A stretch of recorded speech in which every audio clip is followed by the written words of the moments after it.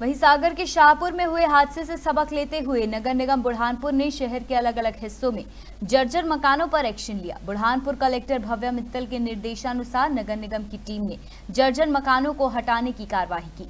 बता दें कि भवनों को हटाने से पहले भवन स्वामियों को नोटिस भी जारी किया गया था, लेकिन फिर भी मकान मालिकों ने अपने मकान नहीं हटाए। निगम आयुक्त संदीप श्रीवास्तव ने कहा कि बारिश को देखते हुए नगर निगम ने यह फैसला लिया है।